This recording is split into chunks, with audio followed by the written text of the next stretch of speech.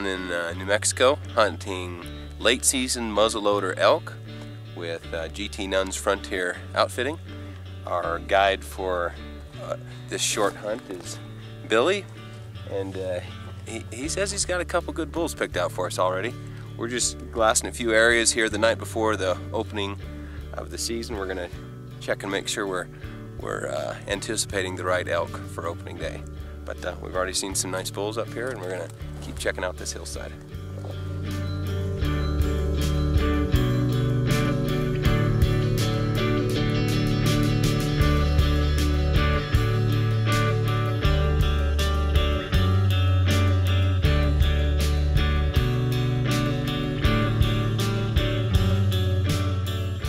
And we're just getting packed up here. We've got a little hike this morning to get into where the elk are. Looks like the breeze died down a little bit, so it's going to be nice shooting. And uh, we're hoping for some big bulls.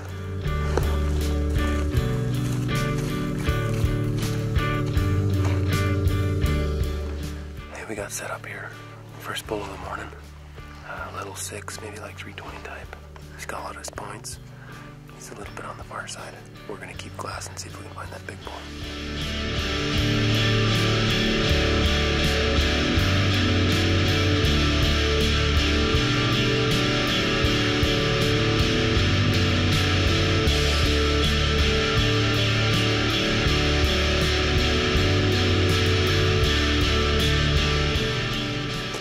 It's like the most six by six bulls I've seen uh, in one group when I've had a tag in my pocket. That's pretty exciting.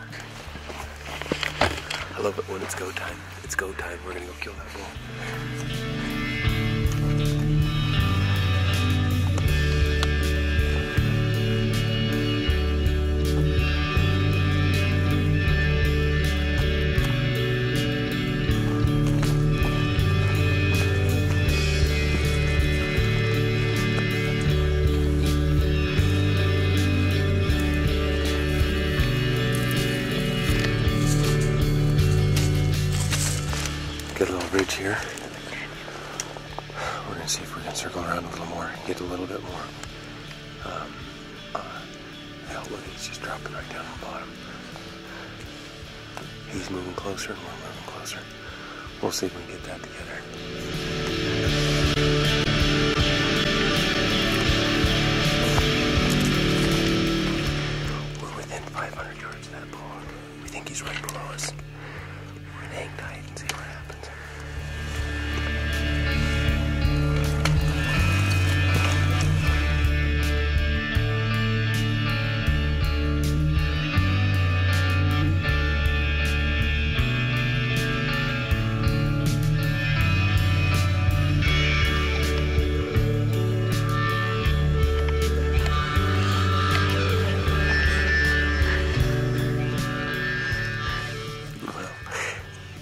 Kind of like hunting back home. You, you get on a good bull or get on a good deer or something, and it's a race to get on him. It looks like uh, the reason why I bailed off that mountain's a couple hunters are coming up the other side.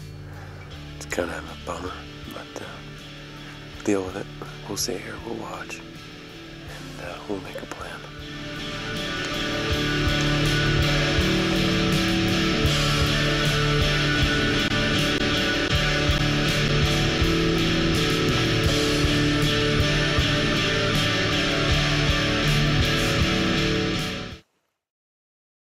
I'm Jeremy Winters, and on today's shooting demonstration, we're going to try to recreate the effects of air density. Now, For, for just uh, simple terms, uh, we're going to define air density as a given altitude and temperature. Uh, for every altitude and temperature, there's a given air density. So just to make it easier for everybody, we're going to use altitude and temperature when talking about air density. Now, why does air density have such a huge effect on our bullet?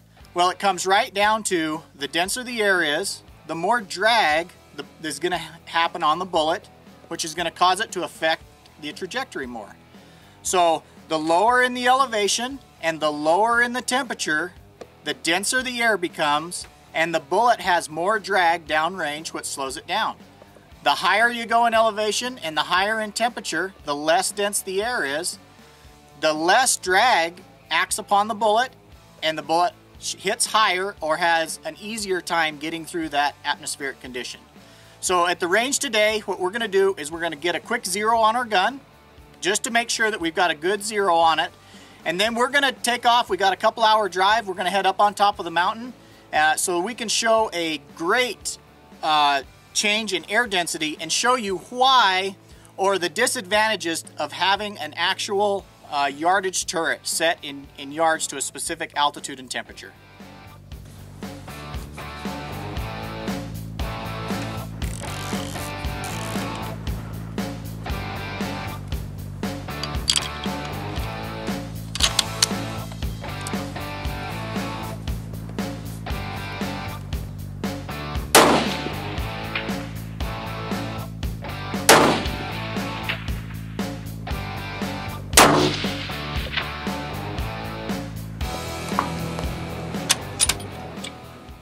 Looks like we've got a good zero down there on the steel.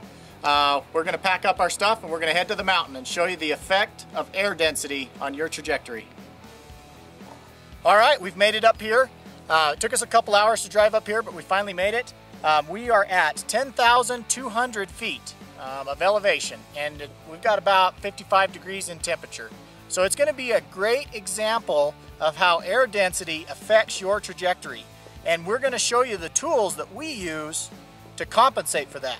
So what we're going to do real quick here is we've got a target downrange at 900 yards. I'm going to dial in 900 yards, not making any adjustment, and we're going to see how high on that target we're going to hit without making any compensation. And then we'll go down there and check the target out, and I'll explain to you how we make those compensations for air density in the field.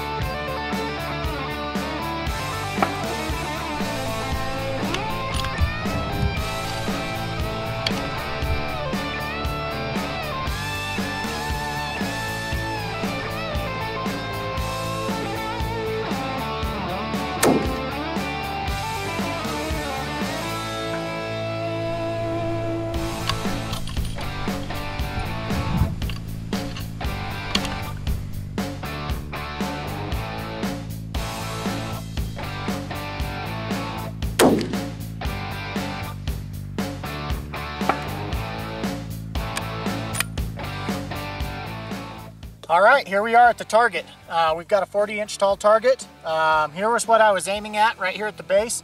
I tipped it up sideways so we could see more of the elevation on there. Um, we've got a three shot group here at 900 yards.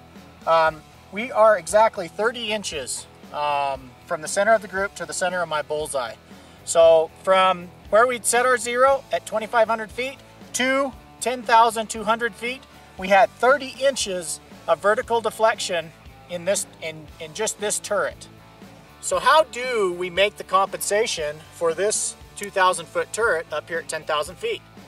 There are companies, other companies out there who build these same yardage turrets fixed at one elevation, and their solution is, well, let's just sell guys four or five different turrets. So you're up here on the mountain, well, it might be 7,500 feet or 10,000 feet. You're juggling around with these four or five different turrets, having to swap them out when you change elevations. It's just not a viable solution. And what we've noticed here at Gunwerks is we've evolved from that solution, from going from multiple turrets to changing them out in the field. we've evolved to, uh, Aaron has designed the uh, BR2 rangefinder. Now, the reason this is such a special unit up here is, is I can run my 2,000 foot turret and the rangefinder has a built-in weather station and a built-in ballistics program. So I can take my data from my turret, input it into the rangefinder, and it will make the elevation, temperature, and shot angle corrections for me out here on the field. So with the rangefinder, instead of having my shots here, it would have told me to dial to the exact point of aim for that elevation, and my shots would have been here. So for all you guys out there who are running those fixed elevation turrets, we know there's a lot out there uh, because we've been building these things for years and years. The solution is, is to actually run the BR2 rangefinder and then it alleviates number one, multiple turrets, multiple charts out in the field, um, a handheld calculator. It, it alleviates all that just by running the BR2 rangefinder. Yeah, I'm Mike Davidson with Gunwerks. On this week's episode, we're just going to do a, a, real quick do-it-yourself tip on how to install a, a, leveling device on your rifle scope. What that's going to do is keep you from, or help indicate if your rifle is canted or not, and help, hopefully keep you from canting your rifle. Now, some people have trouble doing that, and some people don't. If you think you're one of those guys, where you're always looking through your scope and it looks upside down or sideways, you might you might invest in one of these levels. Now there's there's a bunch out on the market. We like to use one from Caldwell or from Wheeler. Uh, they've got an anti-cant indicator. Uh, this customer in particular ordered one from Flatline Ops, so we're going to use that level on on this uh, on this rifle. There's only a few tools you need. Uh, you need a uh, some kind of leveling device. Same thing, you can get those at uh, from Wheeler Engineering, from Battenfeld Technologies uh, or just uh, an old machine level will work just fine as well. We've got this rifle here. It's just about ready to go out the door. We've got uh, uh a customer expecting this in a couple days, so we just we're going to get this level on and get it out of here. We've we've got it set here in a uh, uh, the best gun vise from Tipton, and it's it's it's a pretty handy vise because you can you can level it up and down, right and left, and that's what we need to to get this rifle level before we install the level. So uh, we'll, we'll, take our level uh, from from Wheeler Engineering there, and we'll just we'll just level this rifle up. Now I'm just going to set this right on top of the scope. Now if somebody did a good job mounting the scope, the scope should be level with your action. I've got a, a piece of machine bar stock here that we use to level our scopes up with. I'm just going to slide it in on the raceways of the action here and let's check and see if it's level as well and it matches up with the scope. So we're good to go. So I'm just going to clamp this in.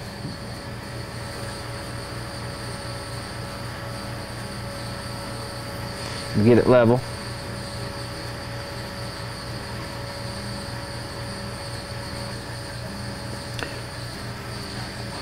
Once we've got indication that our, our scope's level, then we'll, then we can install the device. Now there's a couple places you can put this device. Uh, I like it forward of the parallax knob up in this area here. Some guys I'll see put it back here and that's fine too. It seems like it kind of gets in the way of the turret so I'll usually install it behind the, the turret assembly itself. Now you can run it on the right side or you can run it on the left side, so left or right. If you're a left-hand shooter you might install it like that. If you're a right-hand shooter you're usually your dominant eye is going to catch it up here. So we'll just we'll, we'll put this thing together and, and start tightening it up.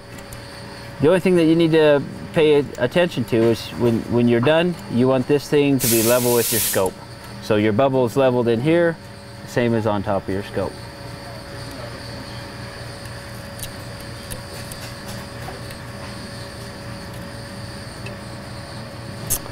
All right, uh, now there's no real torque specifications on this level itself. We're just we just snugged it up enough and give it just a little more so it doesn't turn on our on our scope tube there.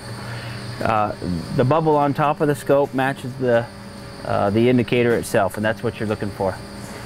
Now, for for a for a practical reason why you might entertain using a scope level, uh, if you think about it, your your vertical crosshair sits like this if you've canted your level, or you, excuse me, if you've canted your rifle one way or the other, Uh, when you adjust that turret, it should go straight up.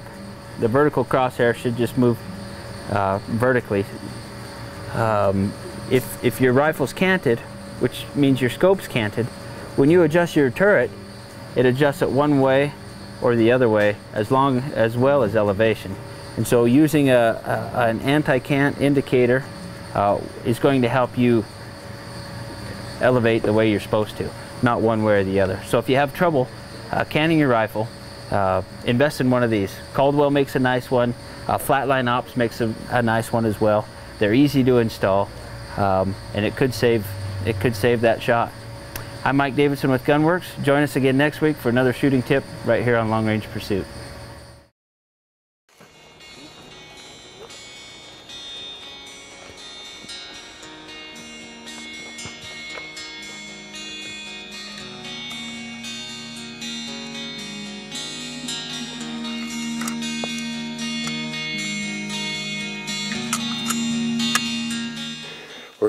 Actually to the south where we think that big bull from opening morning ended up. Uh, we're on this ridge top, um, looking really, really good. So I went ahead and loaded up the, the shooter just in case we get some action. So we're just getting ready to just kind of ease down this ridge line and we're going to check both sides on our way.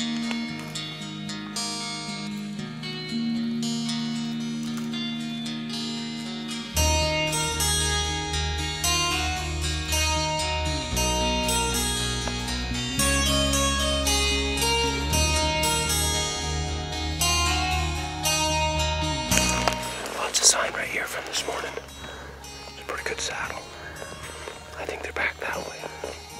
We're gonna crest out here, see if we can see anything.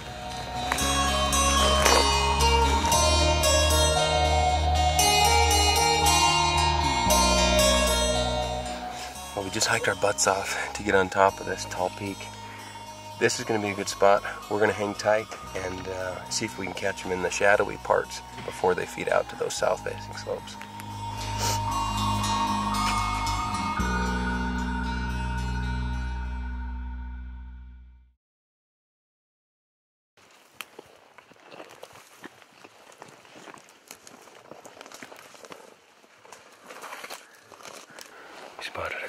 A couple bulls last night across the canyon here from way over there. We're trying to move in real easy so we don't spook them. They're going to be two, three hundred yards. We'll keep creeping. Keep down.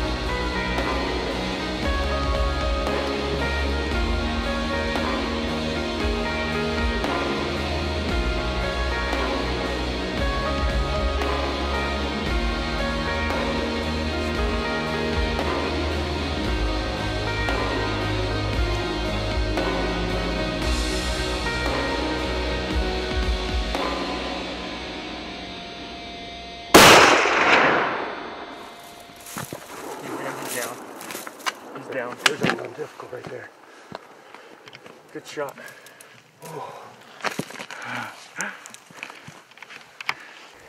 That was a solid shot.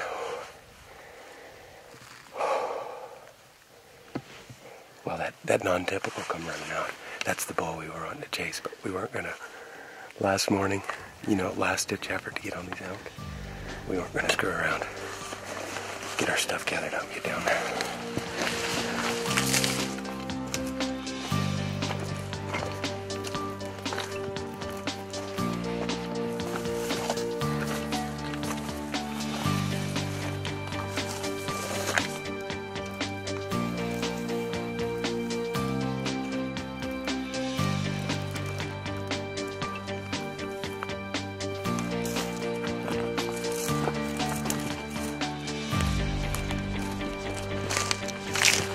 Wow. Hey, that turned out to be a pretty nice bull. big hole. So he was just right in that rock pile right there. Smoked him, stumbled down the hill, rolled right to this spot. That is all right. Look at that. So this is a bull we saw last night. Pretty good thirds, nice bottom end. We figured he was broke on the fifth, he is. Broke uh, behind the fourth over here. That made a nice bull. He was running with a non-typical that had a big old club on one side. And I thought last night, man, this is the last hunt we get this morning. If we see any of those bulls, we're not gonna be picky. We're gonna take him. But worked just like it was supposed to. Boy, look at that. Right out the shoulder. Right out the other side.